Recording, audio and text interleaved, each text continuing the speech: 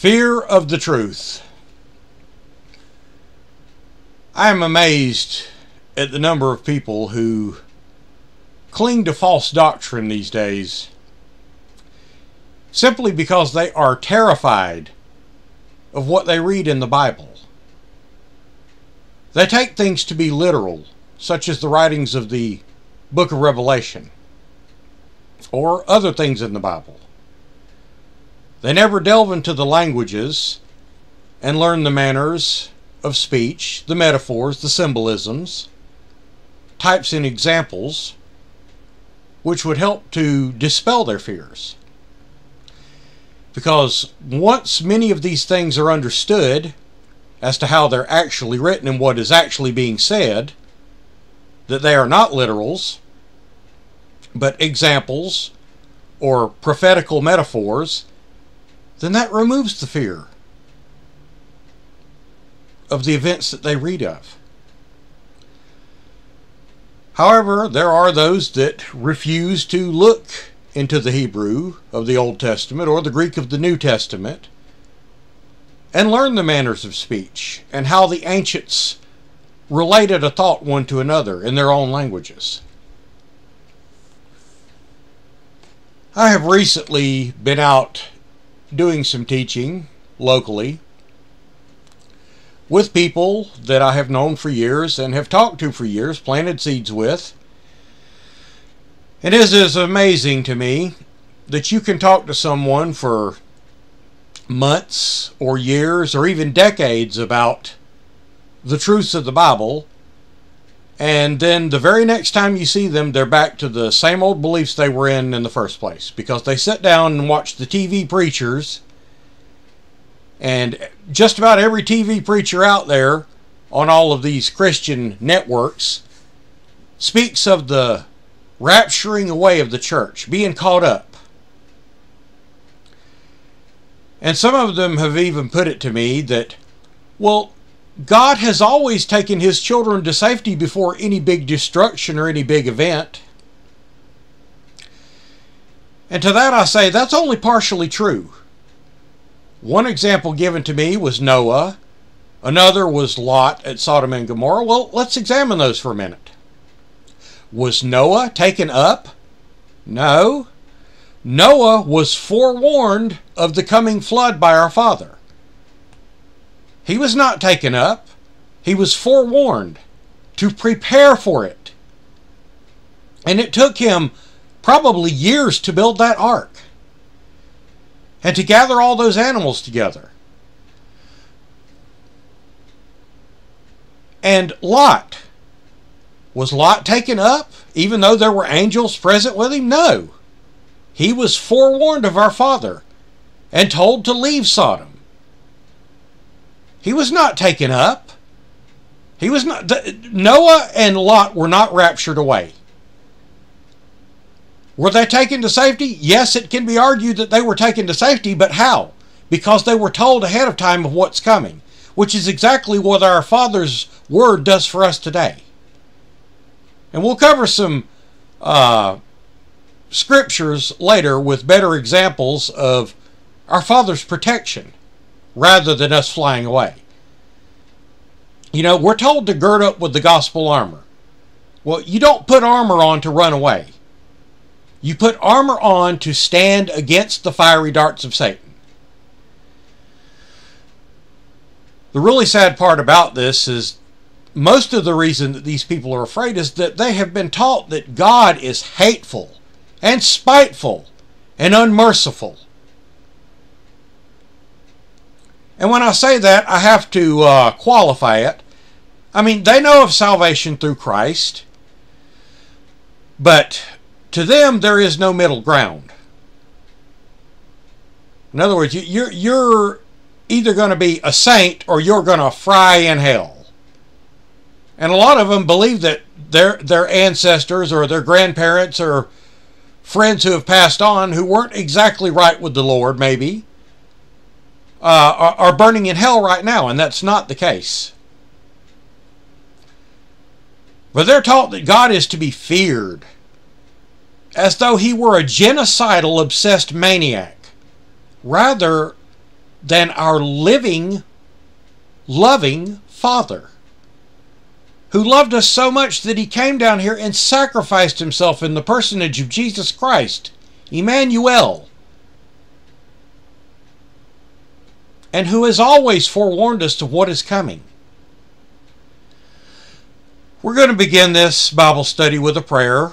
We're going to cover a good little bit of ground here, but uh, be turning, if you will, to the book of Jeremiah, chapter 38. This is going to have particular relevance because it's going to concern King Zedekiah and what King Zedekiah was told to do, and then we're going to cover what King Zedekiah did rather than what he was told to do and what the outcome of it was. But before we begin this Bible study, let us go before our Father and let us ask for guidance and wisdom as we study these His most holy scriptures. So let us pray. Our glorious Father, who art in heaven, we come before you this day, Father, to ask that you lead us and guide us to the light of the truth. We ask, Father, that you open eyes and ears and hearts and minds to be able to receive these truths. We ask that your hands always be upon these studies, Father, to guide us. And that your word prevails as your plan will, Father. In the minds of the listeners who may be first listening to this, that they may understand the truth and not be afraid of those things that are coming. Because you will stand with us, Father and you will fight our battles as you did the children of Israel. And we ask these things, Father, in the name of our Lord and our Savior, Jesus Christ, Yahushua HaMashiach. Amen. So, the book of Jeremiah 38, uh, chapter 38, we're going to read here of what happens whenever a prophet prophesies the truth to a people. And this happens even to this very day. So, Jeremiah chapter 38 and verse 1. Then Shephatiah, the son of Mattan, and Gedaliah, the son of Pashur, and Jucal, the son of Shelemiah, and Pashur, the son of Malachiah, heard the words that Jeremiah had spoken unto the people, saying, verse 2 Thus saith the Lord, He that remaineth in this city. Now, what city are we talking about here? Jerusalem. Okay? Uh, what are we told to do in Mark 13 and Matthew 24? To get out of the city. But he that remaineth in this city shall die by the sword, and the famine, and the pestilence. Shades of Revelation. But he that goeth forth to the Chaldeans, that's your Babylonians, remember what Babel means. It means confusion. He that goeth forth to the Chaldeans shall live. For he shall have his life for a prey, and shall live. In other words, you're going to go into captivity. It was God's plan for these people to go into captivity, just as surely as it's God's plan for us to go into captivity in the end times to one world government and to Satan the Antichrist. Verse 3 Thus saith the Lord, This city shall surely be given into the hand of the king of Babylon's army. Now, if you relate this to our time, prophetical, it means the locust army of Satan, who is the king of Babylon of the end times to continue with the verse, which shall take it. No question of it. He's going to take the city.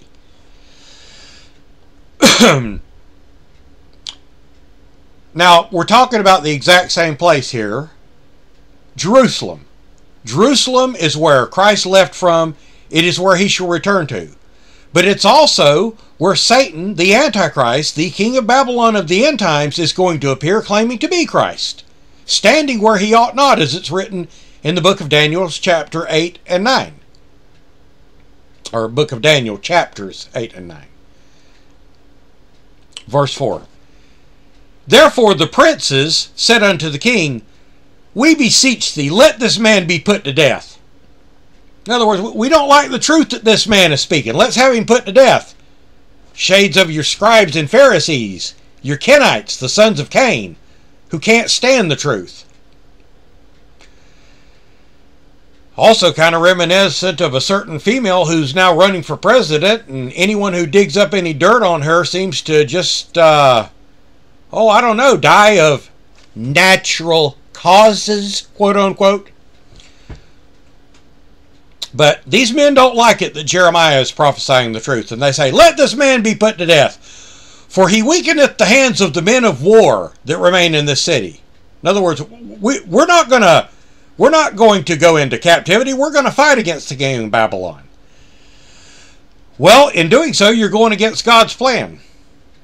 In the end times, we're not going to fight against the king of Babylon, Satan the Antichrist. We're going to be delivered up, and God is going to speak through us. He shall do battle for us. But these men are all upset. They're the princes, the rulers of the city. No doubt some of them even priests. They want this man Jeremiah to be put to death because he's weakening the hands of the men of war, the fighters, the warriors of the city, and the hands of all the people. In speaking such words to them, in other words, in telling them the truth, he's weakening them. You know, that's one of Satan's favorite things to do is to tell you that the truth will weaken you. And that's what a lot of people in this country now believe. That's why we have so much perversion going on, so much crime in the streets, so much unrest, as they call it, when it's really riotous mob behavior. And these men are continuing, For this man seeketh not the welfare of the people, but the hurt. And you know, it's so funny that welfare is used there in that sentence. I think God has one heck of a sense of humor. Because that's exactly what they tell you today. That's what politicians tell you today anytime someone talks about cutting welfare benefits. This man's not concerned with the welfare of the people. He wants to take away your goodies. Like always, people do not want to hear the truth. They want to hear smooth, sweet words that pander to them. They want free gifts. They want to be entitled because, oh, how bad they have suffered in this land of the free. I mean, we've even got a San Francisco 49er football player who won't stand for the Pledge of Allegiance because he says the flag of the United States is oppressive. And of course, he says these things while he's making a hundred and what, fourteen million dollars a year playing football, and lives in a mansion. You know, this this great land of opportunity that's been so good to him is so oppressive. Poor little baby. Don't you just want to change his little diaper? Verse 5 then Zedekiah the king said, Behold, he is in your hand. For the king is not he that can do anything against you. In other words, I'm not going to stand against you. You're my princes, you're my priests, you're my advisors, so he's in your hand. I'm not going to stand against you. Verse 6 Then they took Jeremiah and cast him into the dungeon of Malchiah the son of Hammelech, that was in the court of the prison, and they let down Jeremiah with cords. In other words, this, this is a deep pit. And in the dungeon there was no water, but mire. In other words, mud. So Jeremiah sunk in the mire. In other words, he, he probably sank right up to his chest in, in filthy mud and sewage and everything else that was in this prison. Verse 7. Now, when Abimelech the Ethiopian, one of the eunuchs, which was in the king's house, heard that they had put Jeremiah in the dungeon. The king then sitting in the gate of Benjamin, verse 8, Abimelech went forth to the king's house and spake unto the king, saying, verse 9, My lord the king, these men have done evil, and all that they have done to Jeremiah the prophet, whom they have cast into the dungeon. And he is like to die for hunger in the place where he is, for there is no more bread in the city. Verse 10 Then the king commanded Abimelech, or Ebed-melech, interesting name, servant of God, servant of the just, the Ethiopian, saying, Take from hence thirty men with thee, and take up Jeremiah the prophet out of the dungeon before he die. Verse 11. So Abimelech took the men with him and went into the house of the king under the treasury. In other words, this place is hidden away. And took thence old cast clouts of old rotten rags and let them down by cords into the dungeon to Jeremiah. Verse 12. And Abimelech the Ethiopian said unto Jeremiah, Put now these old cast clouts of rotten rags under thine armholes and under uh, the cords. In other words, put them under your arms. And Jeremiah did so. Verse 13. So they drew up Jeremiah with cords and took him out of the dungeon. And Jeremiah remained in the court of the prison. Verse 14. And Zedekiah the king sent and took Jeremiah the prophet unto him in the third entry that is in the house of the Lord. And the king said unto Jeremiah, I will ask thee a thing. Hide nothing from me. In other words, I want to know the truth. This is, this is a wise move by Zedekiah. Only he's not going to believe it and he's not going to follow it. Verse 15. Then Jeremiah said to Zedekiah, uh, unto Zedekiah, If I declare it unto thee, wilt thou surely put me to death? If I give thee counsel, wilt thou not hearken unto me? Verse 16. So Zedekiah the king sware secretly. Very important word in this sentence. Secretly. In other words, I don't want my princes and my priests to know about this. So he swore to him secretly unto Jeremiah, saying, As the Lord liveth, that has made us this soul, I will not put thee to death, neither will I give thee into the hands of these men that seek thy life. Now, Zedekiah will do this. Verse 17. Then said Jeremiah unto Zedekiah, Thus saith the Lord, the God of hosts, the God of Israel, if thou wilt assuredly go forth unto the king of Babylon's princes, then thy soul shall live. And this city shall not be burned with fire, and thou shalt live and thine house. In other words, all your children. Verse 18. But if thou wilt not go forth to the king of Babylon's princes, then shall this city be given into the hand of the king of the Chaldeans, and they shall burn it with fire, and thou shalt not escape out of their hands. So there were two paths to take here. You can serve the king of Babylon and stay in your home. And that's what Zedekiah was. He no longer had his kingdom power, but he would have retained, kind of like the royals have in Britain, the office, and he would have saved his life and preserved his children's lives. But old Zedekiah is not going to do this. Uh, let's do verse 18 again. But if thou wilt not go forth to the king of Babylon's princes, in other words, to, to, to uh, obey them, then shall this city be given into the hand of the Chaldeans, which is again the Babylonians, and they shall burn it with fire. Remember your book of Revelation, uh, the uh, locust army that comes breathing fire and brimstone. Again, a metaphor, not literal.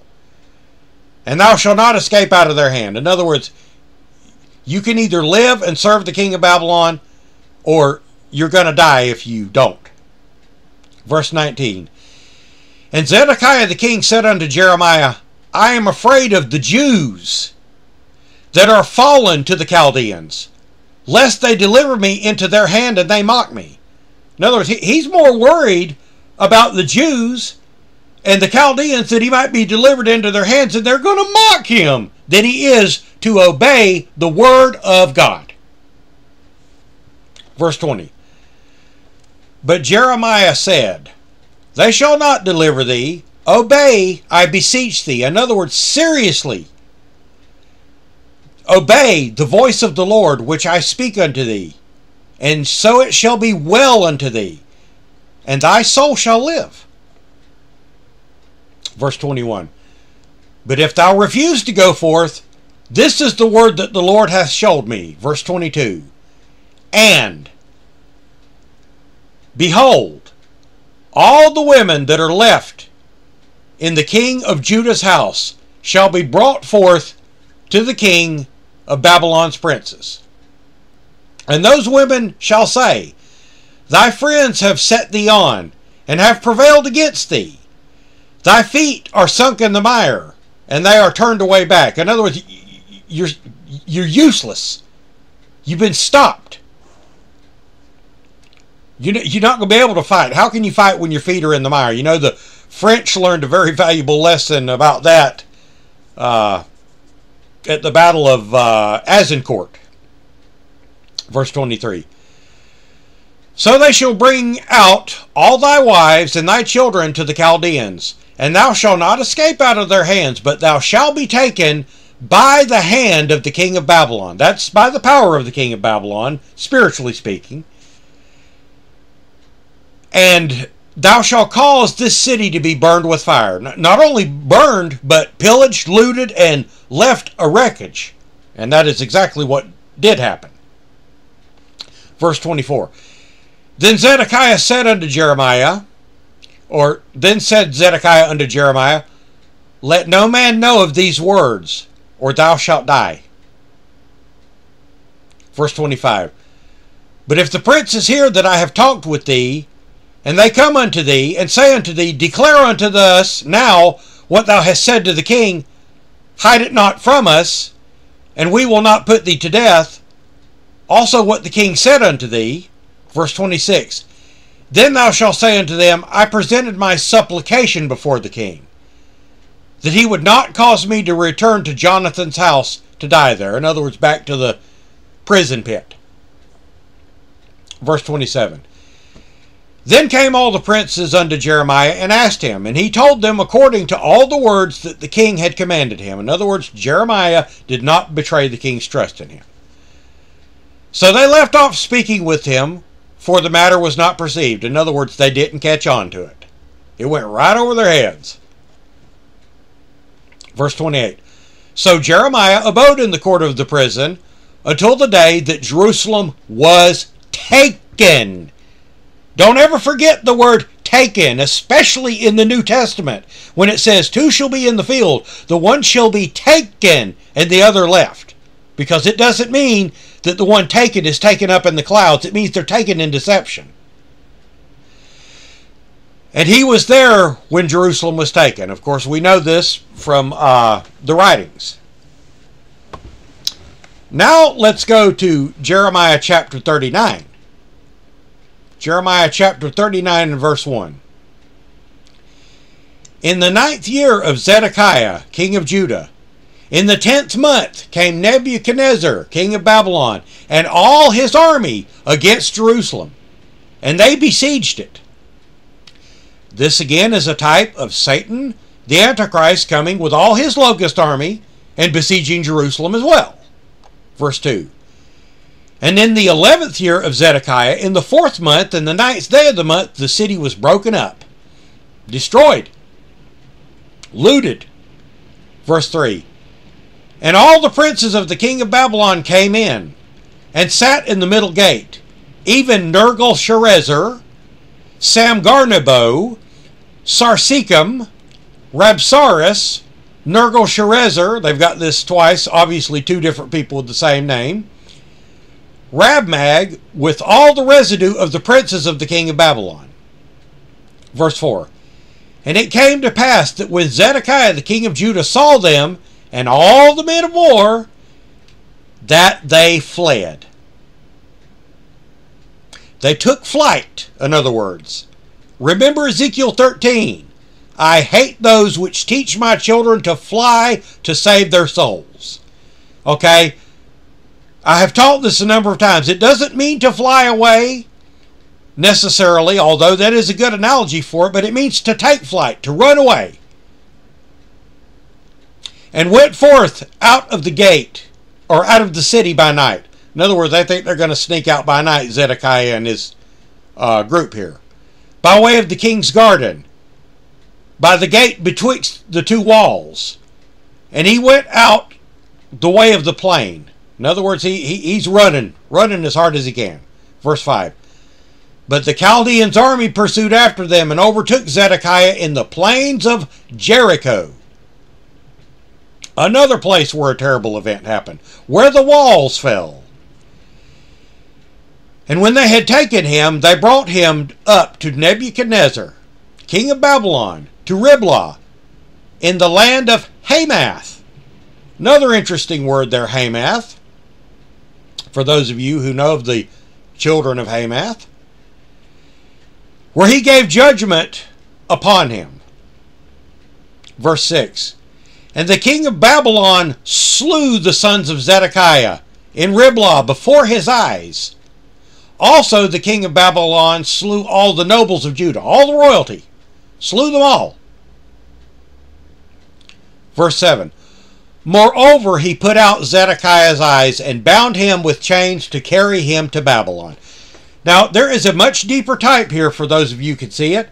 He put out his eyes, he took away his eyes to see with, and he bound him with chains like many are bound with false doctrines, and carried him away to Babylon. Babylon meaning confusion, where people are confused about things like whether there's going to be a rapture or not. They don't know whether there's a false Christ or not. Or they believe, if they do know about the false Christ, the Antichrist, they think he's coming after Christ has come and taken the church. But that is not what is written in our Father's Word. And if you don't know that, why don't you know it? You know, that's the thing that really burns me up about Christians is so many people say, "Yes, I'm a spirit-filled, Jesus-loving Christian," but they don't even know the chronological order of events written of in our Father's word. In Mark 13 and Matthew 24, it gives it to you clearly the events. Second Thessalonians chapter 2 tells you clearly the events. The book of Revelation tells you the events. The fifth trump, the sixth trump, the seventh and final trump, which is the day of the Lord. Yet people still think that Christ is going to come back and take his church. But what really gets me is who do they think is uh, are the people that are going to prophesy against the false one? Let us continue with this chapter, verse 8. And the Chaldeans burned the king's house, in other words, made it a desolation, and the houses of the people with fire, and break down the walls of Jerusalem. Verse 9 Then Nebuzaradan, the captain of the guard, carried away captive into Babylon the remnant of the people that remained in the city, and those that fell away, that fell to him, and the rest of the people that remained. In other words, he was given charge over them. This will be the man, quite frankly, uh, Nebuzaradan, who releases Jeremiah and the two daughters of Zedekiah, who still lived, that would go on to Egypt and then finally would go on, uh, from what we know of history, to Ireland and form the king line of Terah, which still sits upon the throne to this very day. A lot of people try to say that Queen Elizabeth is a Kenite. That is an absolute untruth. And they say, well, she's worthless, so she's got to be a Kenite.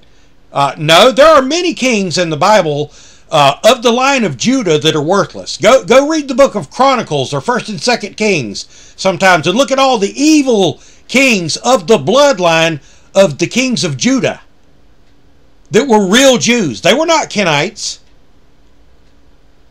Look at all the evil they did in setting up houses of worship, bringing putrid uh, false gods into the house of the Lord.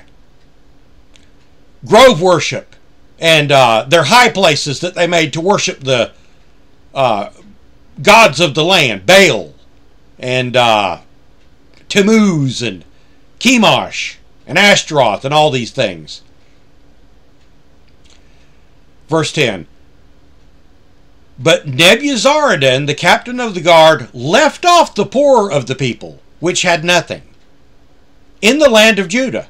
In other words, left them behind and gave them vineyards and fields at the same time.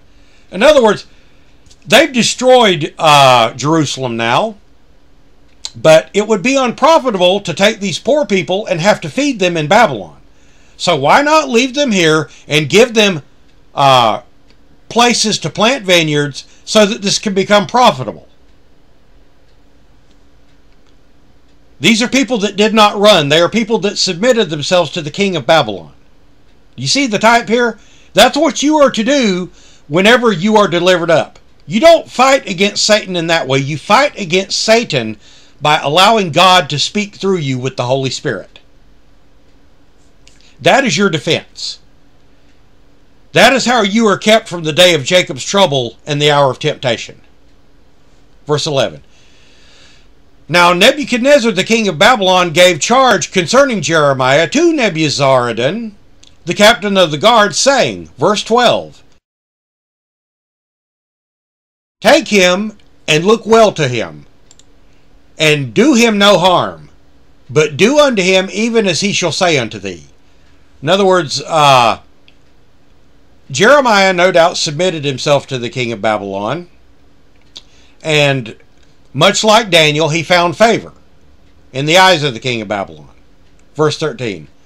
So Nebuzaradan, the captain of the guard, sent Nebu Shaban, or Shashban, excuse me, Rabsaris, and Nergal-Shazzar, Rabmag, and all the king of Babylon's princes, verse 14, even they sent and took Jeremiah out of the court of the prison and committed him unto Gedaliah the son of Ahikam, the son of Shaphan, that he should carry him home, so that it, he dwelt amongst the people.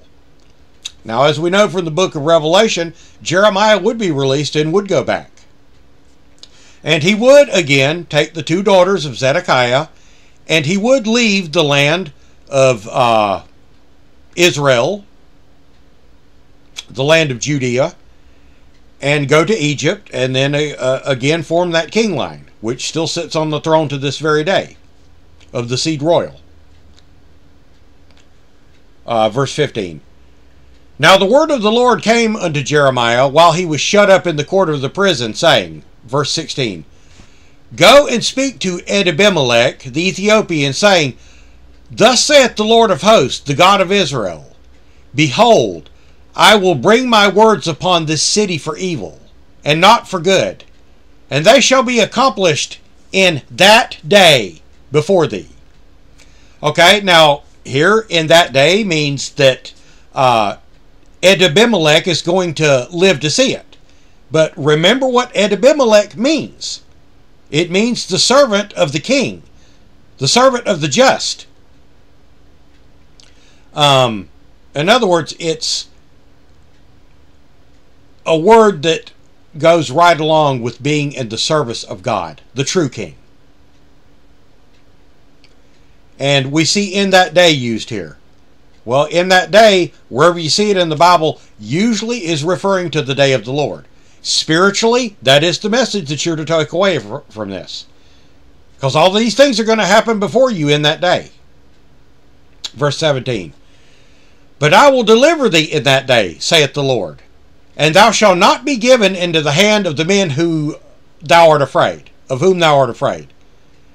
Now, this man is an Ethiopian. And of course, there is land association here, but this man is also probably a eunuch being that close to the king. So therefore, he probably is a real bona fide Ethiopian. That is to say, a black man. And um, he's being told here, you're going to be delivered in that day. What is that a type to us of? Well, there will be kings and queens of the ethnos that are amongst the elect, and they're going to be delivered too. Why? Because they believe in the words that God say to them. Verse 18 For I will surely deliver thee, and thou shalt not fall by the sword. But thy life shall be for a prey unto thee, because thou hast put thy trust in me, saith the Lord. You know, the word sword here is a very interesting thing. It goes right along with Revelation 1:16. it's the two-edged tongue of Christ, in other words, the word of God. Now, a lot of people use the word of God in this day and age, that is to say the Bible, to slay people. Well, how do you use the Bible to slay people? Well, you teach falsehoods from it. You go by the English only translation, brother, and you tell people that, yes, we're going to fly away. We got nothing to worry about. It's going to be an easy trip. Nice, smooth, swelling words to make people just so happy and warm and cozy inside, and not prepared for what they have to face. That is to say, the tribulation. But we're going to get to that. Now let us turn over to the New Testament, to the book of Matthew. Book of Matthew, chapter 10, and verse 1. And this will be Christ, of course. This, as you know, the Gospels are Christ's life, and we're talking about Christ here, verse 10, or excuse me, verse 1 of chapter 10. And when he had called unto him his twelve disciples, okay, that, that tells you who it is, he gave them power against unclean spirits to cast them out. Now, that is a promise that still holds true to this day if you are a disciple in Christ, which means if you are a disciplined one in Christ. You can cast out unclean spirits. They have to obey you. There is no if, and, or but. It's not like in the movie Exorcist where the thing just keeps clinging on and hanging on no matter how many enchantments you throw at it or how many times you say, The power of Christ compels thee. When you tell one of these things to get out, they go. You cast them out of this earth age. Send them back to where they came from. It's a death sentence from them. And pretty soon, when they see your power, they will steer clear of you. But he gives them power to cast out unclean spirits and to heal all manner of sickness and all manner of disease. Now, there's a spiritual connotation to this. When a soul does not know the truth, what is it? It is sick. It is diseased. Diseased with what? False doctrines. You see, there's a metaphoric amount of speech even in this. Now, in the book of James, we are told to anoint and lay hands on and pray for people. And if God so wills it, they will be healed after the same manner as these disciples are being given power here. So this still does happen today. But see the underlying message here. You can cast out unclean spirits. You know, churches are full of unclean spirits today. That's where they do their best work. And you can heal all manner of sickness and disease. You can feed people with the truth. Feed, give them the living water which is pure, and the bread of life which makes them whole. Verse 2. Now the names of the twelve apostles are these. The first, Simon, who is called Peter, or Petra, the rock. Andrew, his brother. James, the son of Zebedee. And John, his brother. Verse 3 Philip and Bartholomew, Thomas and Matthew the publican, and James the son of Alphaeus, and Lebbaeus, whose surname was Thaddaeus. Verse 4 Simon the Canaanite, and Judas, Judas Iscariot, or Judas Iscariot, who also betrayed him. Now, this is written before uh, actually, it's written after, but in the timeline that we're talking about here, where the story is, this is before he would actually betray. But these things were no doubt written down after the fact. Verse 5. These twelve sent Jesus forth and commanded them, saying, Go not in the way of the Gentiles. Now, the word Gentile here, as I've explained I don't know how many hundreds of times or how many thousands of times, is a word usually that means a person who is not of the tribe of Israel in some facet or form. But it also means one that is unlearned of God's word. And that's what, moreover, is being said here. Now, were they sent to the lost sheep of the children of the house of Israel? Yes. But you have to think about what timeline we're talking about here. You've got to separate the metaphoric from the literal timeline, but you need to understand both. And into any city of the Samaritans enter not. Why? Well, the Samaritans were Gentiles. They're not Samaritans, they're Samaritans. They're the people that came into the land of Samaria after the ten northern tribes had departed. Verse 6 But go rather to the lost sheep of the children of the or the, uh, of the house of Israel. Now, did that say the house of Judah? No, it said the house of Israel. Now, that does mean the house of Judah included in that because you've got 12 tribes. But he's sending them forth to the house of Israel. And we know that um, from certain historical writings that Peter and Paul both, and not only that, it is recorded in the Bible that uh, uh, Paul went to Europe. In other words, he went to Rome, and the lost chapter of Acts uh, 29, which most people, including myself, believe is authentic, speaks of Paul going to Britain. But regardless of what you feel about that, he's told to go to the lost sheep of the house of Israel.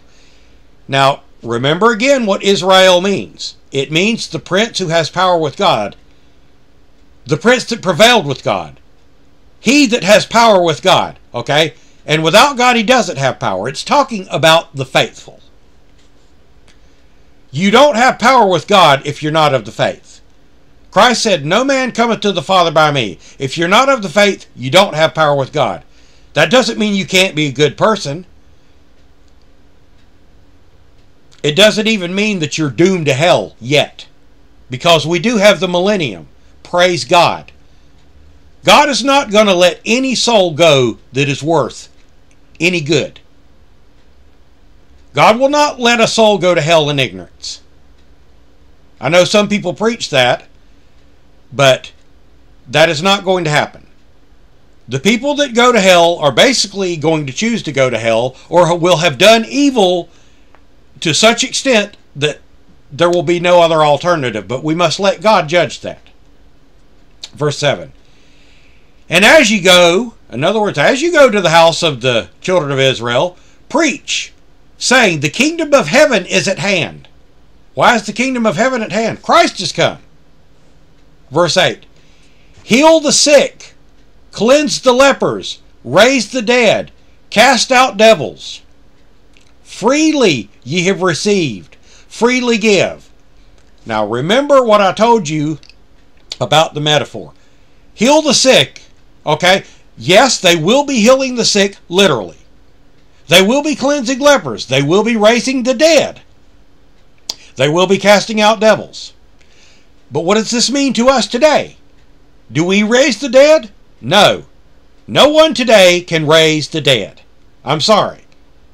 You know, I don't care what you believe, no church on this earth raises anyone from the dead.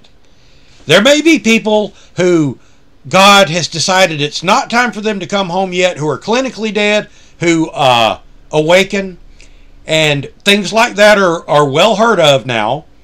But you don't take a dead body that's been in the ground for two or three days or whatever, like was done with Lazarus, and raise it from the dead. And no church can do that today. So they were allowed to do it in their times as a literal to show the people the miracle power that they had of the living God. But what does it mean to us? It means heal the sick. How do you heal the sick? Well, you make them well. You give them the truth. You cleanse the lepers. You get rid of the sores off their souls. You raise the dead, the, the, the spiritually dead, by, by feeding them with the truth. You cast out devils. You get rid of those demon lies and those familiar spirits which are babbling in your churches and freely you have received and freely give. In other words, don't charge for it. Now, there's nothing wrong with a pastor making a salary or anything like that because, after all, that is their job. And a servant is worthy of his hire. But for people like myself and many others that I know, I have had people say, let, let me send you a love offering or let me send you a, a tithe. Well, I don't really have any way to use the tithe. Um, if you're going to tithe, I, I, would suggest sending it to somewhere like the Shepherd's Chapel or to somewhere you know is a Bible teaching establishment, church, or teacher who can use the money. Verse 9 Provide neither gold nor silver nor brass in your purses, nor scrip for your journey, neither two coats, neither shoes, nor yet staves, for the workman is worthy of his meat. In other words, the workman's worthy of his hire. In other words, you're going to go and you're going to work and you will be provided for. You know, Paul uh, was a uh, tent maker, Peter was a tanner. You know, they also worked. They not they not only uh, you know Paul and Peter and all these great apostles didn't spend uh, 16, 18 hours a day just preaching the word of God. They also worked as they went across these places. You know, they didn't live off of anybody. They weren't part of the welfare state and entitled. They got out and worked their butts off and weren't, weren't a burden to anyone. Verse 11 And into whatever city or town ye shall enter, inquire in it who is worthy, and there abide until ye go thence. In other words, go and find who is a worthy brother, and stay with him, and stay there until you leave. Verse 12 and when you come into an house, salute it. In other words, bless it, salute it, salute everyone there. A salutation. Verse 13. And if the house be worthy, let your peace come into it. And if it be not worthy, let your peace return unto you. Verse 14. And whosoever shall not receive you, nor hear your words, when you depart out of that house or city, shake off the dust of your feet. Good lesson for those of you who plant seeds today. You know, how many people do you say, you know, there's there's not going to be a rapture like most believe and they look at you crazy? Or do you know that there is an antichrist that comes before the true Christ? And they're like, uh, uh, what did you say? And some people will say, you're wrong. Well, what do you do? Do you argue with them? No, that doesn't get you anywhere. You shake the dust off your feet. In other words, walk on and shake the dust off your feet. Get the degradation off of you that you've picked up there. Verse 15. Verily I say unto you, it shall be more tolerable for the land of Sodom and Gomorrah in the day of judgment than for that city. Why? Because Christ has come. Sodom and Gomorrah didn't have Christ. Verse 16 Behold, I send you forth as sheep in the midst of wolves. Be ye therefore wise as serpents. Okay? What are the serpents that we're talking here on the spiritual level? Okay, the Kenites. Be as wise as the Kenites. Be smarter than them. How can you do that? You have to be aware of them. Now, being aware of them and preaching that everyone is a Kenite is not the same thing. You know, uh, there are Kenites that are well able to come to our Father. Everyone is able to come to our Father if they so will it. But be wise as them and be harmless as doves. In other words, do no harm. You've got to be like the gentle cooing of a dove when you spread our Father's word. Verse 17 But beware of men. In other words, beware of men. Man is a fickle thing. For they will deliver you up to the councils, and they will scourge you in their synagogues. And of course, this goes right along with Mark 13, Matthew 24, and Luke 21, which we're going to be going to. When we're delivered up. The same thing happened to our predecessors who taught the truth as will happen to us. Only to us it will be slightly different. Verse 18. And when you are brought before governors and kings for my sake, for a testimony against them and the Gentiles, again, the unlearned, in this case, it would probably be the people of the lands round about, who were Gentiles. However, to our time, spiritually, it means the unlearned. Verse 19. But when they deliver you up, take no thought how or what ye shall speak, for it shall be given you in that same hour what ye shall speak. Okay? You ought to see Mark 13 and Matthew 24 written all over this, and Luke 21. It's not you that's going to do the speaking, it's God, it's the Holy Spirit, it's the Ruach. Verse 20. For it is not ye that speak, but the Spirit of your Father which speaketh in you. Now that's what's going to happen when you are delivered up before the Antichrist. And when you are delivered up to the churches and the holy uh, religious community because you don't believe in the false Christ. That they don't know is the false Christ because they think he's the real one because they're not studied of our Father's word properly. Verse 21. And the brother shall deliver up the brother to death. In other words, blood is not as thick as religion, brother. And it sure ain't as thick when you think you got Jesus standing before you, only he ain't Jesus. And the father of the child, and the children shall rise up against their parents and cause them to be put to death. Again, who is death? Who is it that has the power of death? Hebrews 2:14. You're going to be delivered up to death, which is to say Satan, Antichrist, the killer of souls, basically. Spiritual death of souls. Now, does he kill any souls literally? No. God is the only one that can destroy a soul. But he can cause them to be deceived, and he can cause them to falter. And if they follow him, then yes, they are going to perish.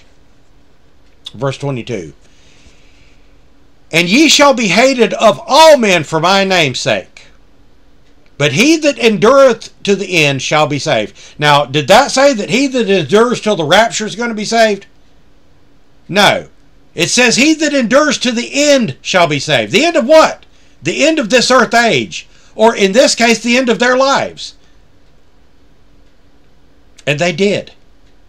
Verse 23 But when they persecute you in this city, flee ye into another. For verily I say unto you, Ye shall not have gone over the cities of Israel till the Son of Man be come.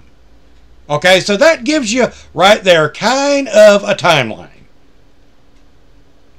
Till the Son of Man be come. Okay, well, this is written after the Son of Man has come in the flesh, so that can only be pointing to one other time that he comes. Verse 24 The disciple is not above his master, nor the servant above his Lord. Verse 25 It is enough for the disciple to be as his master, and the servant as his Lord. If you recall, Christ was a servant. He got down and washed his disciples' feet. God washed his disciples' feet. Do you understand the love there? If they have called the master of the house Beelzebub, how much more shall they call them of his household? In other words, people are going to be saying, You're a devil worshiper. You're one of Satan's own because you do not worship this man standing in Jerusalem saying he's Christ, which they will believe is Christ. And you know, I've been called a number of things over the year. I've been I have been told that I am filled with Beelzebub. I have been told that I'm a Kenite. I have been told that I'm many things, you know, by uh by by some of these really, really biblically trained people. Okay? So, uh, their opinion's worth about uh, uh, a, a piece of dirt out there on the ground to me. You know, if I could help them, it would be one thing. But no, most of the time it resorts to name calling. You disagree with them, they call you names. You're a servant of the devil. You're an evil white devil. You're filled with Satan. You're filled with the spirit of Beelzebub. And nothing has changed. You know, just like Solomon wrote, that which has been shall be again. Verse 26. Now, this is one of the reasons I came here because we're talking about the fear of the truth. Okay? It, this is going to be your time to do your dirty or your duty. This is going to be your time to do your duty. It is going to be dirty, quite frankly, because you're going to have to step in and amongst the trash to uh, to rescue souls. But what does God say here? Fear them not, therefore, for there is nothing covered that shall not be revealed, and hid that shall not be known. In other words, there's nothing hidden. It's going to be made known. When's it going to be made known? On the day of the Lord. And it's also going to be made known when you speak forth in that glorious Holy Spirit tongue, that cloven tongue. Because it's written, even the gainsayers are going to be convinced. When they hear God speaking through you, it's going to be undeniable. Verse 27 What I tell you in darkness, that speak ye in the light. And what ye hear in the ear, that preach ye upon the housetops. And that's the way it should be. Now, not literally. You don't have to go stand on top of your house and start yelling, The Satan is coming who's going to be the Antichrist and there's not going to be a rapture. I mean, you do that, pretty much people are going to think you're a fool. It simply means spread the message. In the old days, when you sounded the trumpet upon the housetop to warn that an enemy was coming, it alerted people. So that's what this means. It means what I have told you, what you have heard with your ears, not only literally, but with your ears to hear, preach that on the housetops. In other words, sound the alarm. Verse 28 Fear not them which kill the body, but are not able to kill the soul. Rather, fear him which is able to destroy both body and soul in hell. Okay? Now, if you doubt who the destroyer of souls is as far as literally who kills the soul, it's written right here for you. God is the final judge, and he is the consuming fire. And hell is the place where that happens. Has it happened yet? No. There are not people currently burning in hell, despite what some ignorant preachers tell you. That does not happen until the great white throne judgment, as it is written in the book of Revelation, long about chapter 20 or 21. But that time is not yet. Verse 29 Are not two sparrows sold for a farthing? And one of them shall not fall to the ground without your father? In other words, without your father knowing about it? In other words, they were a pretty precious bird to be sold to for a farthing. Uh, eh, eh, I mean, as far as to be able to eat. Uh, I'm guessing this is a pretty inexpensive meal eh, when it really comes down to it. But um, what this means is, despite that they're inexpensive, not one of them is going to fall to the ground without your father knowing about it. Verse 30. But the very hairs of your head are all numbered. In other words, God knows how many hairs each of us have on our head. Do you understand that? Now, if God has that kind of knowledge of you, to know how many hairs you have on your head, there's not one of you out there who knows how many hairs you have on your head. And your barber doesn't know how many hairs on your head. And I doubt very seriously if he were to count them that he could get it exactly right. But God knows. So that's how precious you are to God. God is not something to be feared, such as the word fear means. It means to be reverenced. Now, should you fear God? Uh, well, well, yeah, because He's God and He can. But He doesn't want you to be scared of Him. That's why He's given you the truth. You're precious to Him.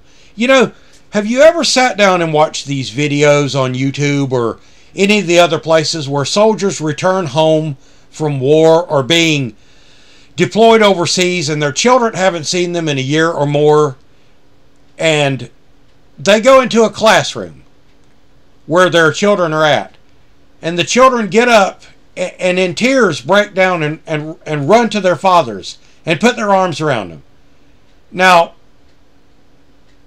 the children don't care that they're crying in front of the other children because the emotion of love overcomes them.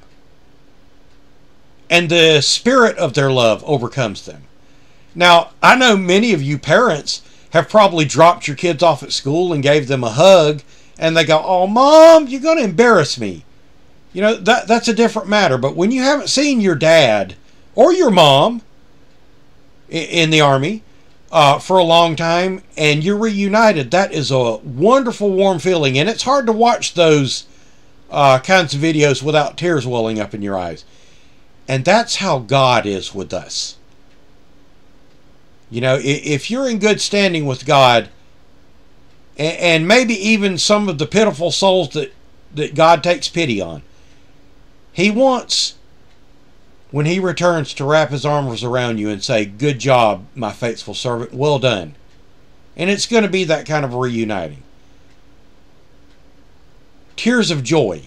And when I say tears of joy, I mean metaphorically speaking. There will be no tears in heaven except for the wailing and gnashing of teeth that people do because they've been deceived.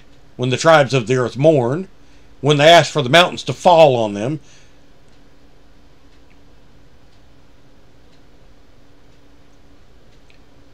But let's get back to where we were here.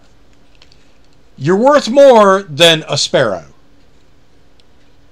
And a sparrow doesn't fall to the ground without God's knowledge. And God knows the numbers of your head. They're all numbered. Verse 31. Therefore, or excuse me, fear ye not therefore. Ye are of more value than many sparrows. Why? Because you're God's children. Now, God loves his animals too, don't get me wrong. And he loves the sparrows. He loves all of his animals, or he wouldn't have created them. And I don't think he takes a very friendly eye to people that abuse animals. But he loves you more because you are his child, his beloved child. He loved you so much that he came down here and he did not have to let them nail him to a cross. And he could have come down off that cross and saved himself any time, but he didn't. He suffered it for you. Never forget that. Verse 32 Whosoever therefore shall confess me before men, him will I confess before my Father which is in heaven. You know, a lot of people love to use this to guilt you into posting something on your timeline or uh, in some other manner. They don't use it to its correct value. I mean, of course, if you're a, a Christian and you believe on Christ and you're studying of the Word, you're going to be professing it to others. But what's going to happen when you're delivered up before men? Well, you're going to confess before them. That Holy Spirit's going to speak through you unless you deny it. And if you deny it, that's unforgivable. And Christ is going to deny you before his Father which is in heaven. That's the only unforgivable sin written of. Verse 33 But whosoever shall deny me before men, him also will I deny before my Father which is in heaven. Okay? Now, when it says men here, this is speaking moreover of the flesh age, but it also has to do with the spiritual. Because when we enter that spiritual realm, there are going to be some that perish and go to hell. And we know that because it's written that some will not make salvation. And they're going to deny Christ before men. Only at that time it will be spiritual men. But whether in the flesh, here, which is temporal, or in the celestial, the spiritual body, the effect is the same. Christ will deny you before his Father which is in heaven. Verse 34 Think not that I am come to send peace on the earth.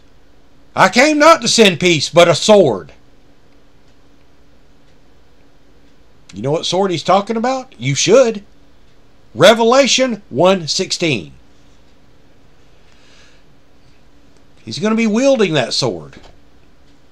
If you drop the S off that word, you got it. It's the word of God. He came to bring the word. And it is a sword that cuts both ways. It can yield a harvest or it can cut to the quick. Verse 35 For I am come to set man at variance against his father and daughter against her mother, and the daughter in law against her mother in law. Why would Christ come to do that? That doesn't sound very Christ like. That doesn't sound all honey dripping and sweet. Because he's separating the chaff from the wheat.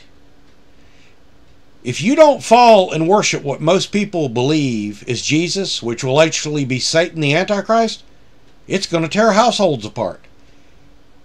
You know, we fought the Civil War. I shouldn't say we, I wasn't alive, but uh, This nation fought a civil war, brother against brother, over their beliefs, and over taxation, and over tariff, and eventually, at the, towards the end, slavery. But it tore entire households apart. Same thing's going to happen when you don't fall and worship the false Christ that everyone else believes and perceives to be Christ. They're going to be at variance with you. And even now, people are at variance when you talk to them about the rapture. When you tell them that there is no rapture, so to speak, no pre tribulation rapture, that is to say, and no mid tribulation rapture, but we all gather back to Christ at the seventh trump, oh boy, you can cause entire families to get in an uproar over that. And and guess what? You you ain't gonna be invited to Sunday dinner again, trust me. So get all the gravy you can while you're there. Especially if it's Aunt May's signature brand. But uh you know, Christ came to separate the chaff from the wheat, verse 36. And a man's foes shall that be they of his own household. You know what a foe is? That's an enemy. That's an opposer. A man's foe shall be they of his own household. In other words, we're all taught that God is more important than family, which is the truth. But if people don't know that the one standing before them is Satan and not Christ, they're going to fall and worship him, and it's going to tear entire households apart. And even the truth of the rapture, telling people about it, that there is not going to be a pre tribulation rapture, tears households apart. Anytime you speak a truth from the Word of God, which is a real truth, a bona fide truth, a truth which can be documented, especially in the languages, it's going to have negative effects with somebody. Whether it's a cousin, a brother, a sister, a mother, a father, an aunt. So you're being warned of it ahead of time. Verse 37. He that loveth father or mother more than me is not worthy of me. He that loveth son or daughter more than me is not worthy of me. That's Christ telling you that. Do you understand that? You cannot love any member of your family more than you love Christ. Verse 38 And he that taketh not his cross and followeth after me is not worthy of me. In other words, we're lucky that we're not going to have to do this, but there have been people who have been nailed to cross for the name of Christ. Would you be willing to do that for Jesus? Would you be willing to do that for our Father? I'll tell you this, you had better well be. You're lucky that that's not going to happen because that's not what's written.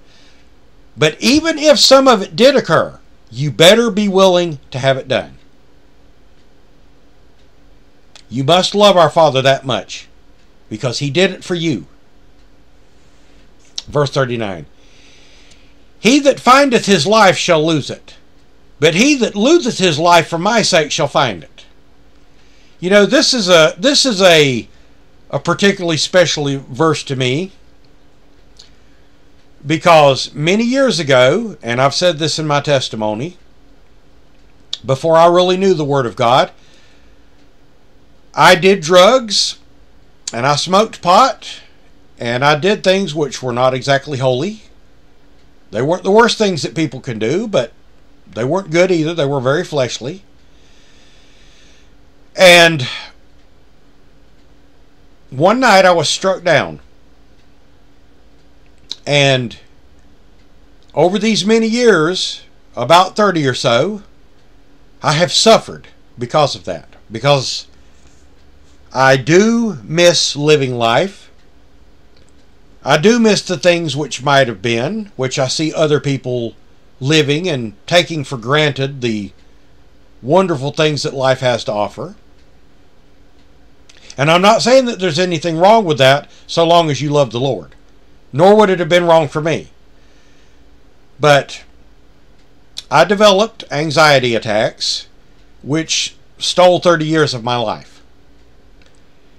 And I have constantly battled with keeping this one verse in mind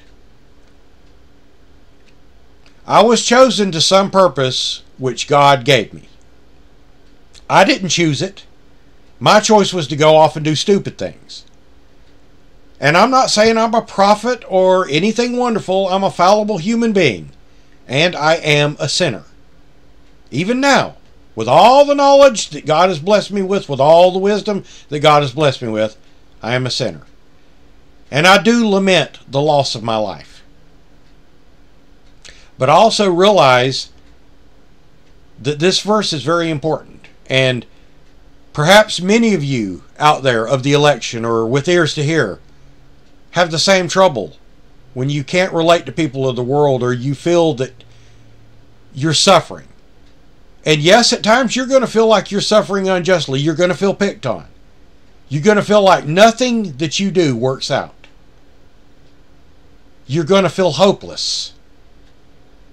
I myself have gotten to the point of such hopelessness at times, even after getting into our Father's Word, that I actually just wanted to die. But then I read a verse like this and other places in the Bible and realize that God doesn't do anything without a purpose. And that helps me find my way back. And tomorrow I may de- be depressed again. It happens. Because we're not perfect. We tend to cling on to the things of this flesh life.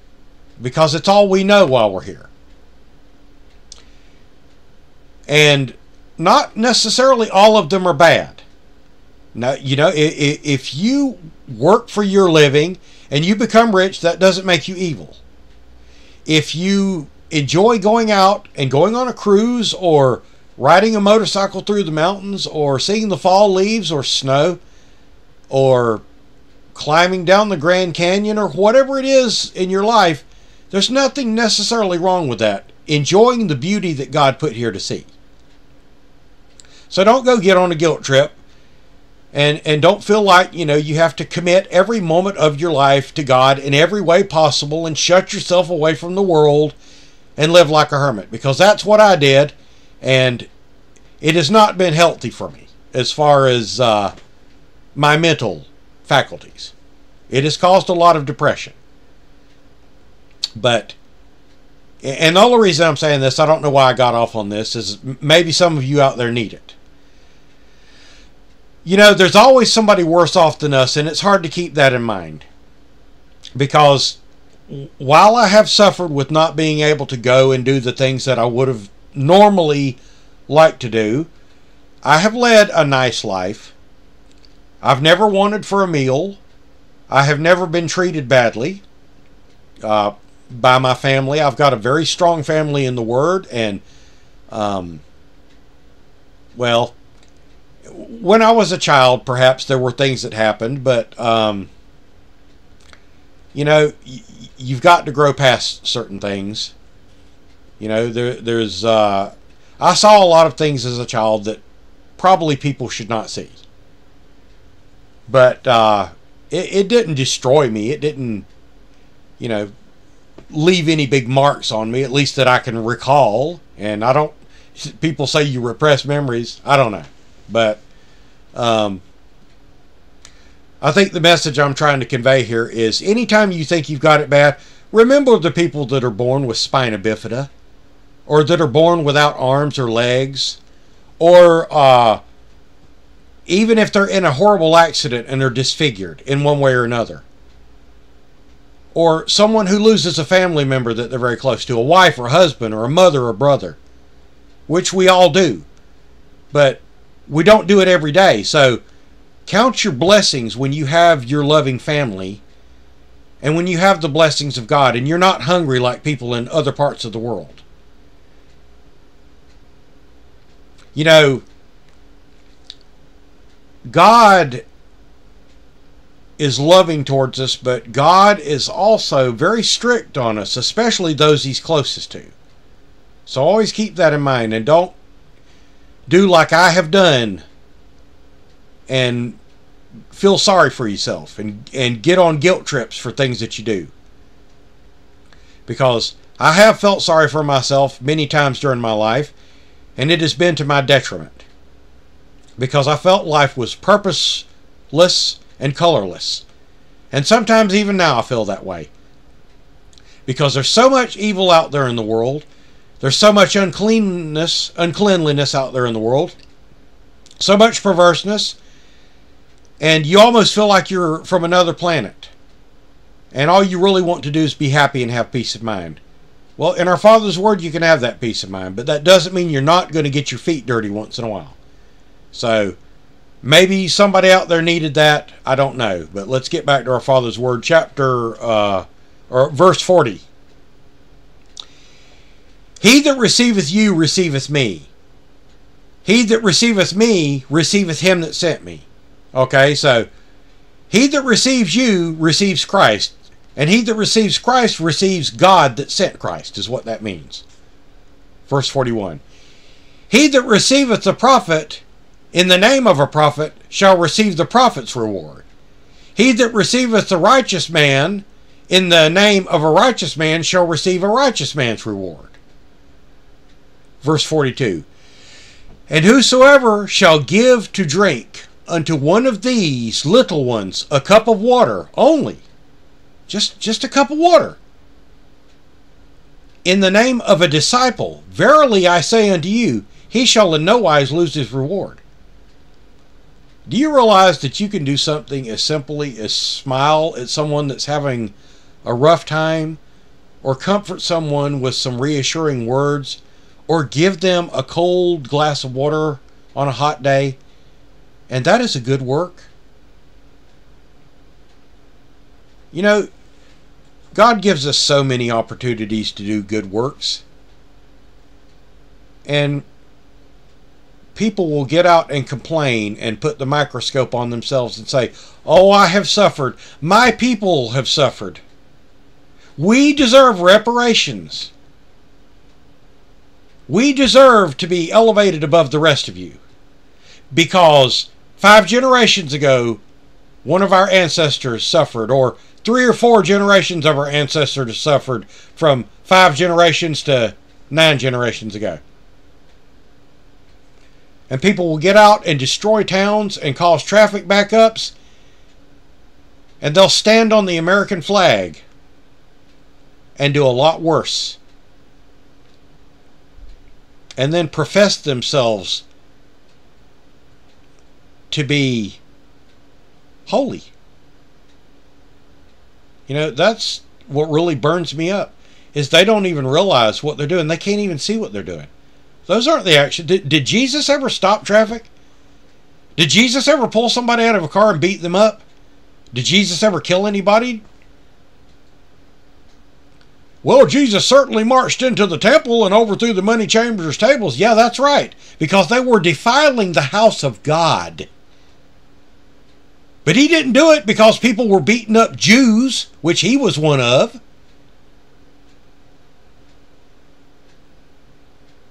Some people really need to get their priorities in order. Let us go to the book of Revelation, chapter 2. We're not going to read the entire chapter. We're only going to read a few verses which are pertinent to this. We're going to talk about the church of Smyrna for a minute here. Revelation, chapter 2 and verse 8.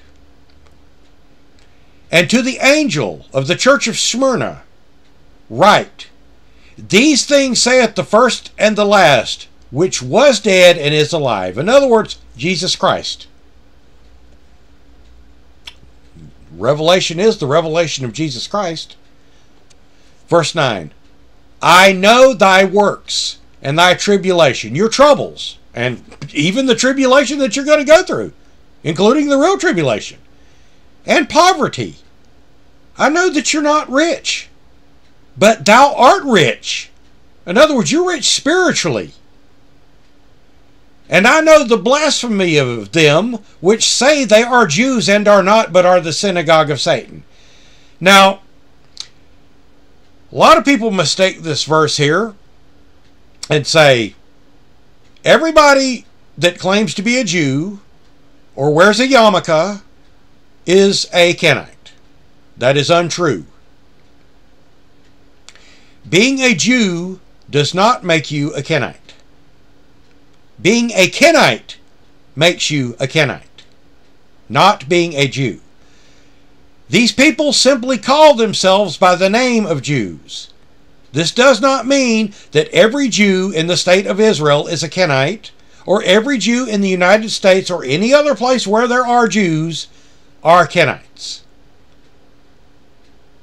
We're talking about a specific group here, which are the synagogue of Satan, even the children of Satan. But not all Jews are Kenites. And there are a number of ways that you can prove that. First of all, the ground will not produce for a Kenite. There are Jews in this country who own farms. And not only do they own farms, but they grow what's in the farms. And there are Jews in Israel that have vineyards, and they don't hire Palestinians, and they don't hire Arabs or Lebanese or any other people. They hire other Jews. And those Jews are able to bring forth from the earth. There are good and bad figs, but the good and bad fig were planted back in that land. So they are still there. And just because a Jew may not be a Christian may only mean that they have never heard the truth. That does not make them of the bloodline of Cain. It just means that they don't know the truth. You would probably have to know some Jews to ever figure this out, and luckily I do. And they haven't pulled the wool over my eyes. I know very good people who are Jews. And they almost really want to believe in Christ, but they are so scared of the truth, which is the subject of this Bible study. They're scared of it because all they have been taught all of their lives is Torah and Talmud. Tanakh, you know. And you have to remember that, you know, w- when they train an elephant, and I use this analogy a lot, I realize, but when they've got a baby elephant, they put a chain and chain him to a cement pole. And that baby elephant will try to get away, and he will struggle and struggle and struggle, and even rub blisters on his leg from that chain and uh, a cuff around his leg. But he will finally, over a period, his spirit will be broken and he will realize that he will not get away from that pole. So that later on, as adult elephants, which are trained to carry people around in India or Africa, where, wherever you go, where there are elephants and they use them in this manner, they can simply take a mop handle and hammer it down into the ground and walk the elephant up next to it and wrap a rope around his leg. Or a tree. A tree which the elephant could easily pull down, or a rope which he could easily break. But that elephant will not even attempt to escape because he learned as a young elephant that he was not able to escape. And the same thing is applicable to the Jews who believe only in the law of Moses and in the Torah, the Tanakh, in the Talmud, they have been trained by the synagogue of Satan to believe what they believe. But that does not make them of the bloodline of Cain. And I don't care who tells you that that is true, it is not true. Being a Jew does not make you a Kenite. Now, there are other Jews who have lost their identity, who have migrated uh, amongst their brother tribes. Another way to prove this is there were a lot of Jews killed in Germany. Some say 6 million, some say more, some say less. Depends on what your values of the Jew are. But what sense does it make for Kenites to kill off Kenites? Well, it doesn't make any. But we gain another lesson from that. The Jews that did not accept Christ perished. And they perished on work farms, or were killed with Zyklon B gas, or were worked to death, or were starved to death. In other words, they perished by famine. and pestilence and being worked to death. That ought to tell you right there that not all Jews are Kenites. The Kenites are the ones that killed them off. And the Kenites were pretending to be something they were not, even at that time. And they weren't pretending to be Jews. Think about that. Verse 10 Fear none of those things which thou shalt suffer. Okay? That says it in a nutshell. You don't have to fear. If God stands with you, you don't have anything to fear. Behold, the devil shall cast some of you into prison, that ye may be tried, put on trial, tried by fire, testing your metal. And ye shall have tribulation ten days. Okay? That's how long you're going to have tribulation. Ten days. And that's not 10 days as in the book of Daniel for 10 years. That's 10 days of the five month period. Or whatever you want to say the period is. Be thou faithful unto death. Now that don't mean be faithful to Satan. It means be faithful unto your death. Now, when you leave this flesh body, your flesh dies. Okay? So don't get that confused with they're going to put you to death. But even if they were to put you to death, be faithful unto death, and I will give thee a crown of life. Verse 11 He that hath an ear, let him hear what the Spirit saith unto the churches. He that overcometh shall not be hurt of the second death, which is the death of the soul, in perdition's flames, in hellfire, the lake of fire. Now, I told you we were going to go to Luke. We're going to go to Luke 21. We're going to cover the same ground as Mark 13 and Matthew 24. It's been a while since I've probably covered Luke 21, so this will be a nice, fresh uh, reading of it. Luke 21 and verse 1. This will be Christ again. And he looked up and saw rich men casting their gifts into the treasury. Verse 2. And he saw also certain poor widow, a, a certain poor widow casting in thither two mites. Verse 3. And he said, Of a truth I say unto you, that this poor widow hath cast in more than they all. Why? Because she had the least, and she gave everything she had. Verse 4. For all these, in other words, the rich men, have of their abundance cast into the offerings of God. In other words, they, they, they've cast in because they had plenty to give. And they got plenty more at home.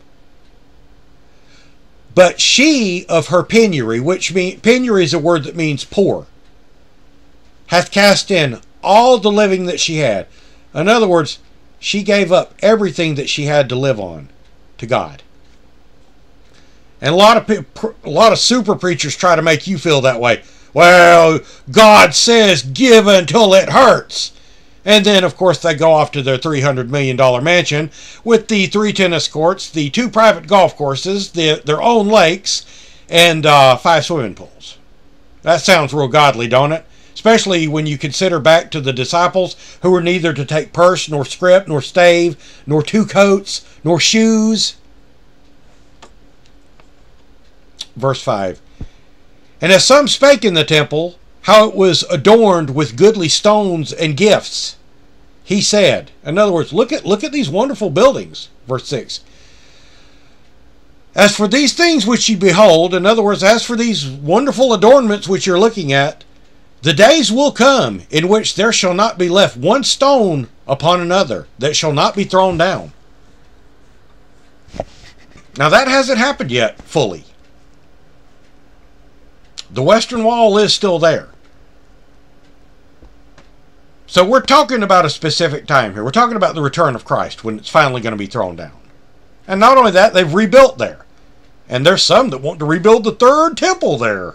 I got news for them. They may build one, but it ain't going to be the third temple. It may be the third in line, but it won't be the millennium temple. Verse 7. And they asked him, saying, Master, when shall these things be? And what sign will there be when these things shall come to pass? Now, if you know Matthew 24, you know it says, "What shall be what shall uh, be the sign of thy coming and of the end of the world?" And that's exactly what they're asking him here. Verse 8. And he said, Take heed and be not deceived, for many shall come in my name, saying, I am Christ. In other words, they're going to be professing he's Christ. We serve the living Lord that was salvo- sacrificed on Calvary. They're going to be saying that. And the time draweth near. Go ye not therefore after them. Why? Because they're false teachers. Not in the fact that they're saying that he's Christ, but that they're teaching you to fall and worship another Christ by the any moment rapture, by the uh, pre tribulation rapture, by not teaching when the Antichrist actually comes according to the trumps of the book of Revelation. Verse 9.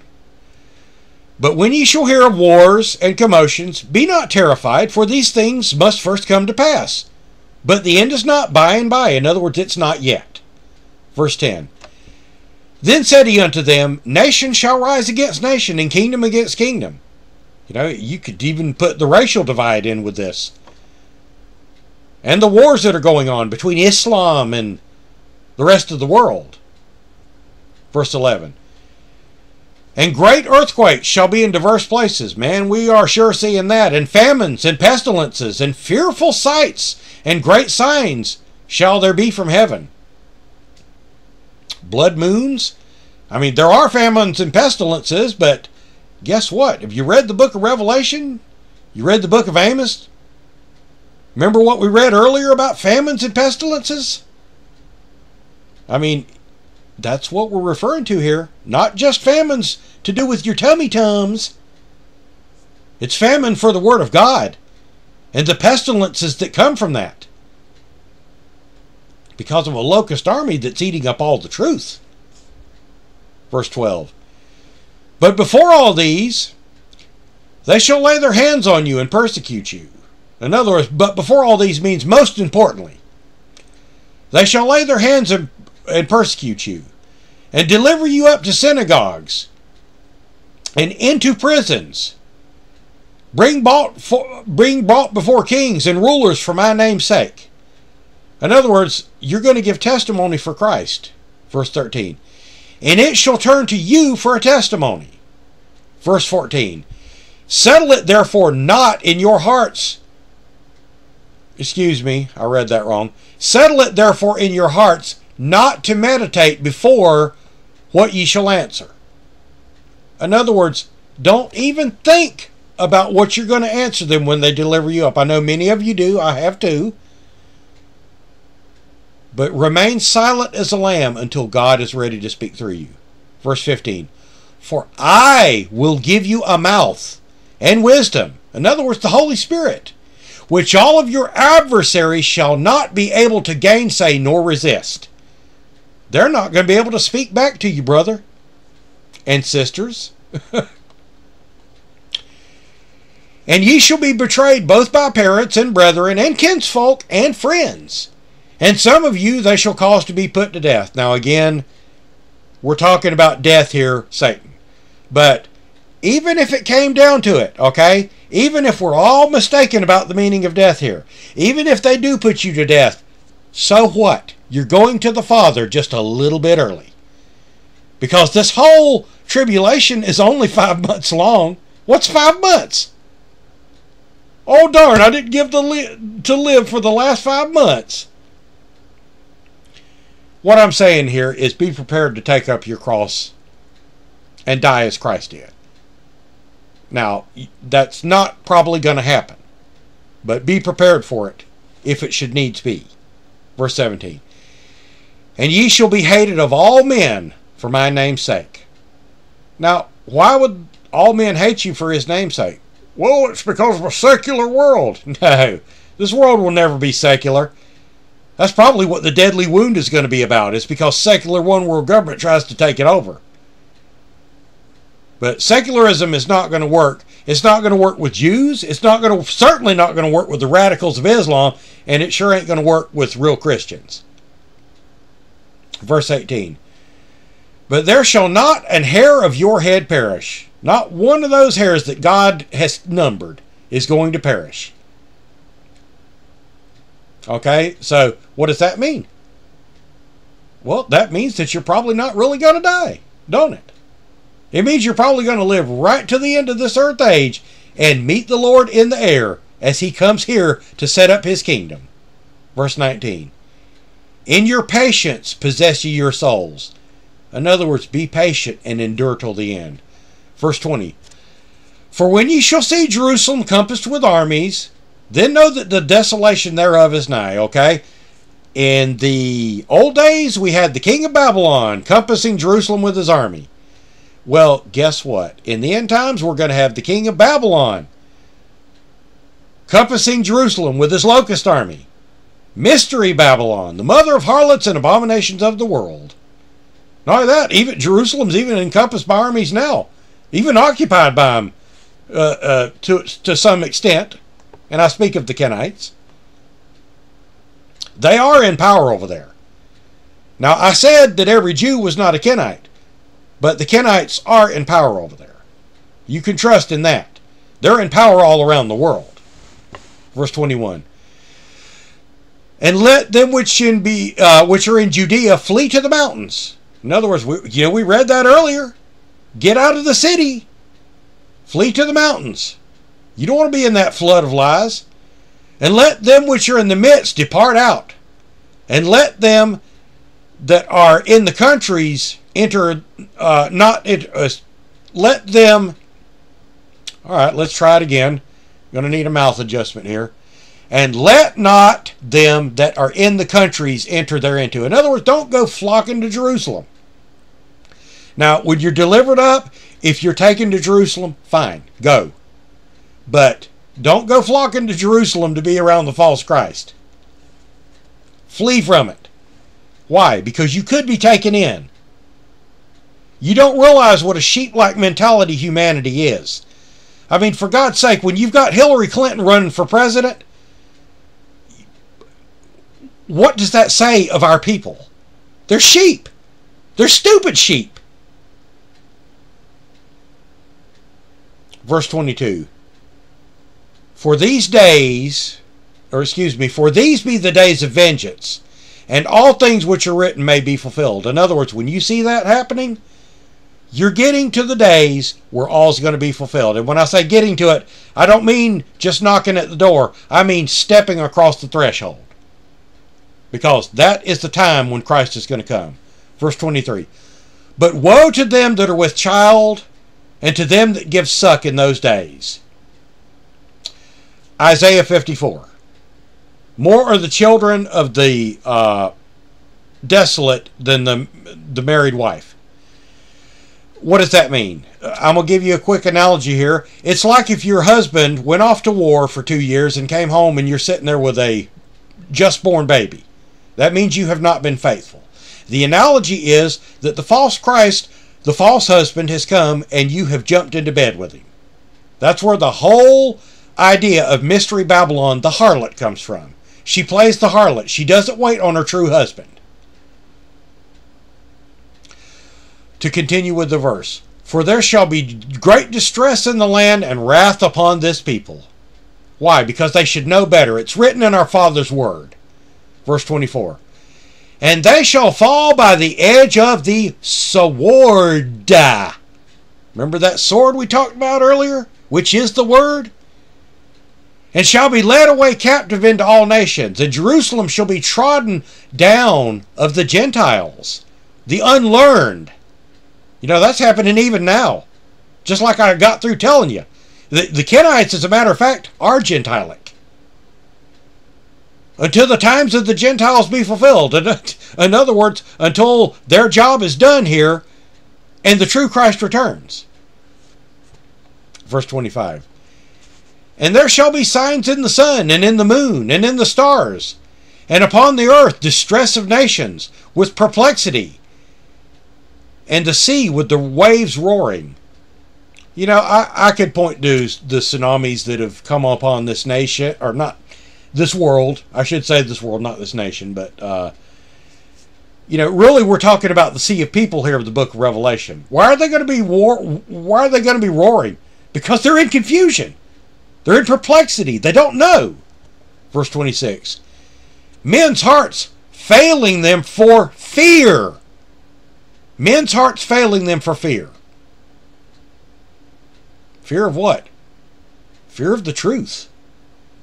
And fear of what's going to happen to them when Christ is returning. That they pray for the mountains to fall on them and cover them from the wrath of the Lamb. And for looking after those things which are coming on the earth. For the powers of heaven shall be shaken. Verse 27. Okay? Now I want you to realize where we're at here in timeline. Matthew 24 helps you a little bit better with it. But it's giving you here the tribulation. We've just, that's what we've been speaking about. Verse 27. And then, when, when? And then, after that, shall they see the Son of Man coming in a cloud with power and great glory. In other words, after the tribulation. Verse 28. And when these things begin to pass, then look up and lift your heads, for your redemption draweth nigh. Your Redeemer draweth nigh. Verse 29. And he spake to them, Behold, or he, spake to them a parable. Behold the fig tree and all the trees. Verse 30. When they now shoot forth, and ye see, in other words, when you see it shoot forth, and know of your own self that summer is nigh at hand. And you would have to understand the parable of the fig tree. That is to say, that in 1948, Israel became a nation again.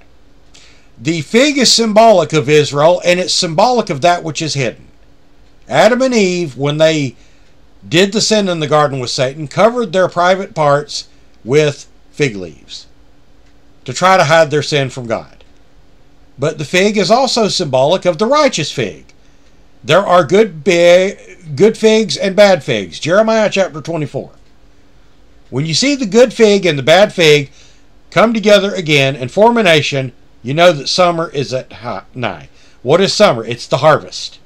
What is the harvest of this earth age? It's the return of Christ, but only after the false Christ. Verse 31. So likewise, when you see these things come to pass, you know that the kingdom is nigh at hand. Verily I say, verse 32, Verily I say unto you, this generation shall not pass till all be fulfilled. Now, he's not talking to the people that lived at that time because they have all passed away. He's talking to you today. And that is the power of our Father's Word to bring forth these things. Now, I'm going to stop right there and we're going to complete this study with Daniel. We're going to go back to the book of Daniel in chapter 3. We're going to talk about Shadrach, Meshach, and Abednego. And we're going to understand that you have nothing to fear. Okay? This should solidify to you that you have nothing to fear. Daniel chapter 3. Nebuchadnezzar the king made an image of gold, whose height was three score, that's sixty cubits, and the breadth thereof six cubits. That's sixty and six. Six six six, type of six six six. He set it up in the plain of Dura, in the province of Babylon. Confusion. Modern day Iraq. Then Nebuchadnezzar, the king, sent to gather together the princes, the governors, the captains, the judges, the treasurers, the counselors, the sheriffs, and all the rulers of the provinces to come to the dedication of the image which Nebuchadnezzar the king has set up. In other words, it's a big gold statue to himself. A big image that he's going to give life to. Much like in the book of Revelation, verse 3. Then the princes and the governors and the captains and the judges and the treasurers and the counselors and the sheriffs and all the rulers of the provinces came together unto the dedication of the image which Nebuchadnezzar the king had set up And they stood before the image that Nebuchadnezzar had set up. Verse 4 Then an herald cried out, To you it is commanded, O people, nations, and languages. Type of the one world system there, in case you're missing it.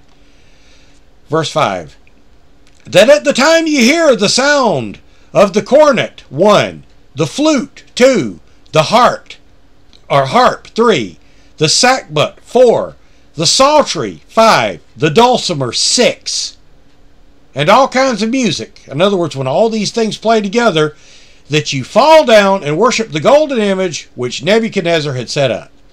Okay, so what do we have here to us spiritually? Well, we've got a false image, which is going to be Satan himself proclaiming to be Christ, which is very connected to the 60 cubits and the six cubits and the six instruments being played here. Okay? 666. The false Christ number is 666. Quite frankly, six trump, six seal, six vial of the book of Revelation to help you out.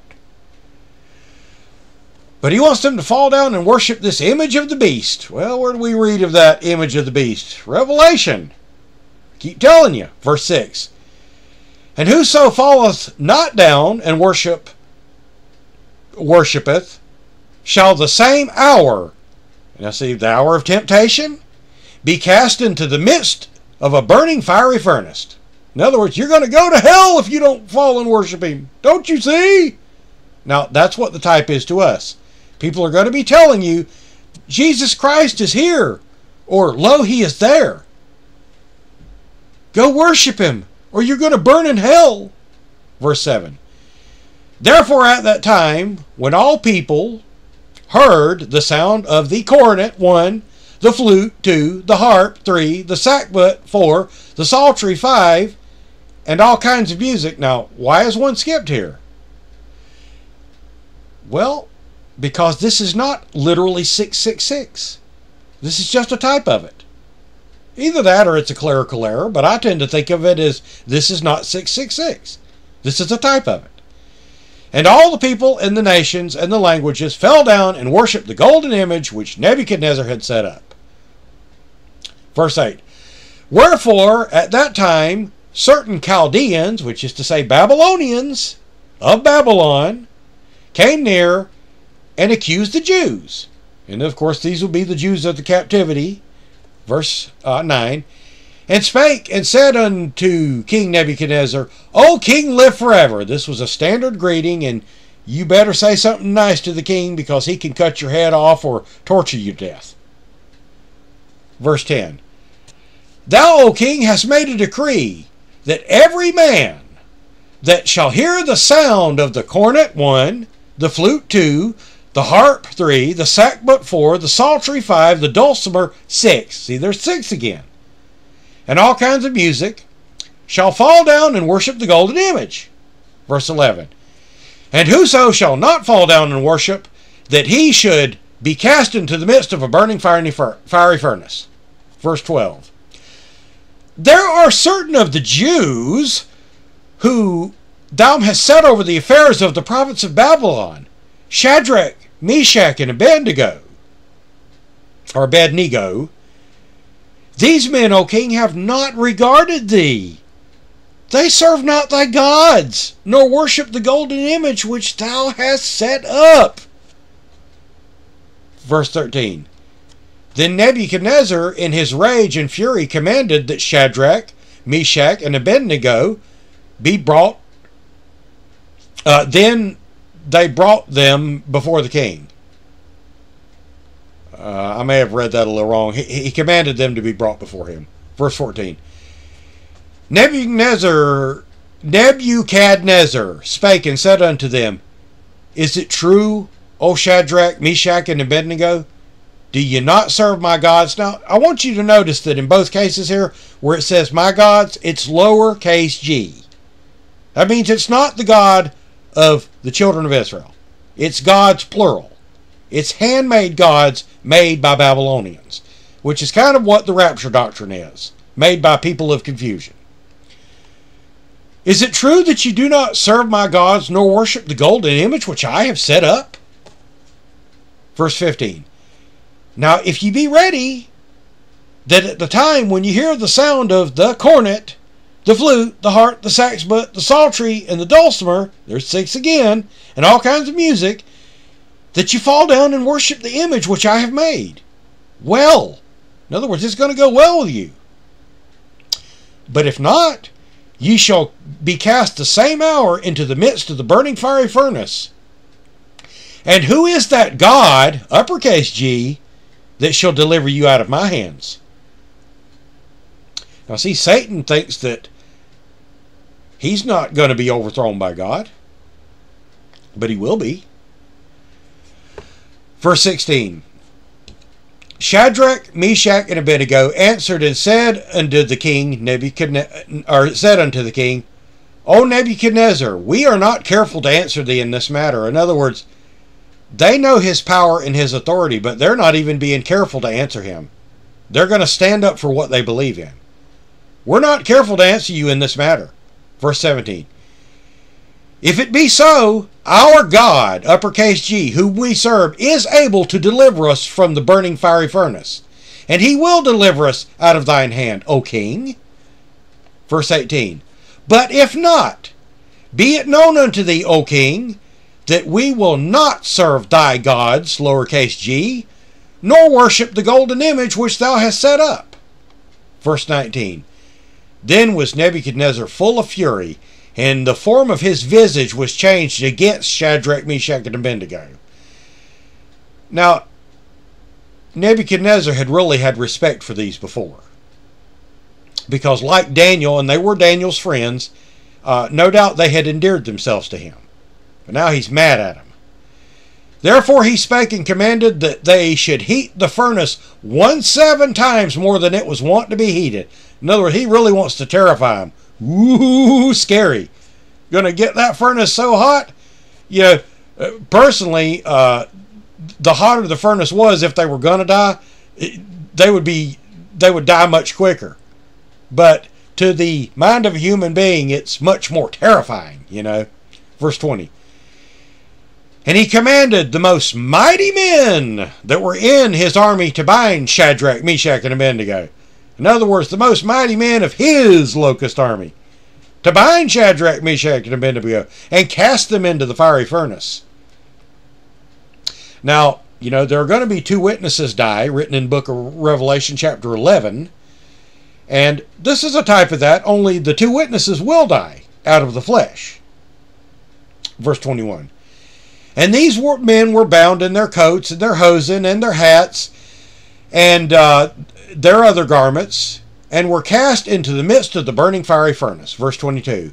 Therefore, because the king's commandment was urgent, and the furnace was exceeding hot, the flames of the fire slew those men that took up Shadrach, Meshach, and Abednego. In other words, when they opened that door to drop them into it, uh, it burned the men alive that were throwing them into it. And that's also kind of alluded to in the two witnesses, uh, if you know what I'm talking about.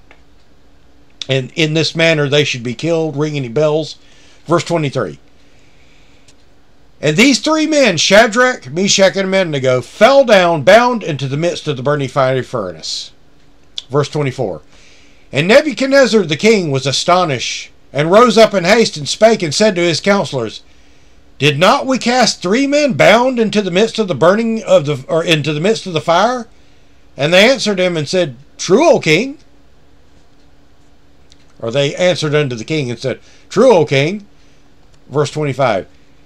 And he answered and said, Lo, I see four men loose, walking in the midst of the fire, and they have no hurt.